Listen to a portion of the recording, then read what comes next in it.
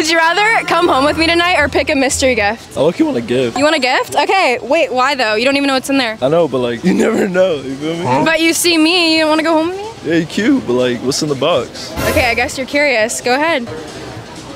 What do you think that is? Whipped? I don't know, you have to find out. Alright, let's see. Energy drink. Whoa, what is that? Oh wow. That's a number? Yeah. What are you doing later? We'll see. What are we doing tonight?